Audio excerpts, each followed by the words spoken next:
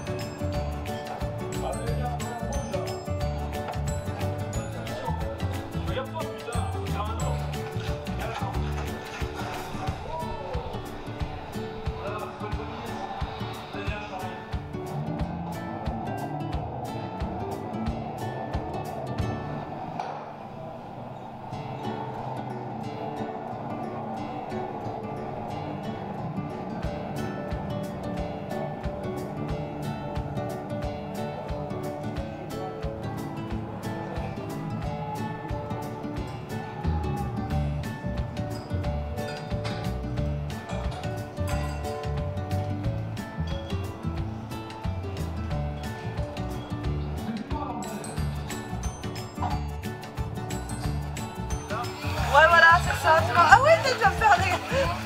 Ah oui, donc une interview alors, donc tu vas nous. euh, Ah ouais, tu vas nous faire une interview, c'est ça Attends, on va la montrer. On va la montrer. pas le moi, il m'énerve, le mec. Va prendre.